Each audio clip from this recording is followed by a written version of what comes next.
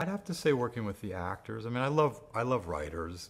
you know, I grew up in a family of writers. I am a writer.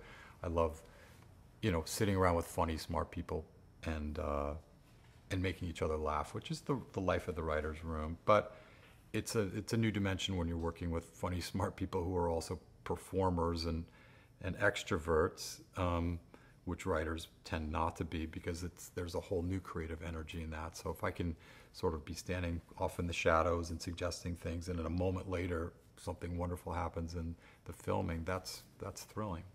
People say like, "Wow, you you know."